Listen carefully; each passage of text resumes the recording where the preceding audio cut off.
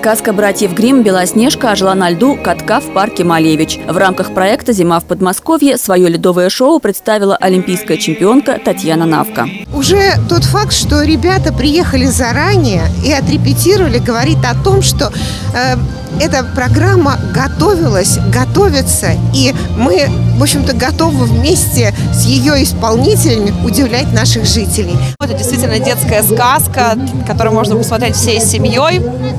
Думаю, что сегодня будет не меньше полутора тысяч человек, впрочем, как и на предыдущих шоу-программах. Поэтому надеемся, что наши посетители оценят по достоинству такое прекрасное мероприятие. Зрителей действительно собралось немало. Красочное шоу привлекло и семьи с детьми, и молодежь, и людей старшего возраста. Для фигуристов такая поддержка очень важна, ведь выступлений в празднике у них много. Вчера уже выступали в Чехове и сегодня в Одинцово. И очень приятно, что мы можем покататься и показать э, наш спектакль и в других городах, не только в Москве. Анна Погорелая играет мачеху не впервые и считает ее весьма интересной и неоднозначной. На открытый лед артисты выходят в достаточно легких костюмах, но Анна признается, холодно не бывает. Во-первых, у нас под слоем платья есть э, боди, мы катаемся в перчатках и, естественно, мы двигаемся. Нам в любом случае теплее, чем если бы мы стояли на льду.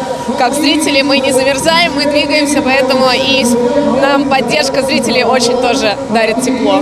В празднике в парках Одинцовского округа отдыхающих ждали развлечения на любой вкус. Помимо ледовых шоу известных фигуристов, анимационная программа и выступления творческих коллективов, а также катки и лыжные трассы, которые будут работать и после каникул. В Новый год мы всегда идем отдохнувшими, с хорошим настроением, поэтому проект «Зима в Подмосковье» продолжается. Мы всех ждем здесь, у нас на катке Малевич. Наталья Гончарова, Николай Бирюков, телекомпания «Одинцова».